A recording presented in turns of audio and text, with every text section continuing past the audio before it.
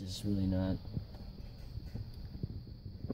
on our side, but we'll fucking do it.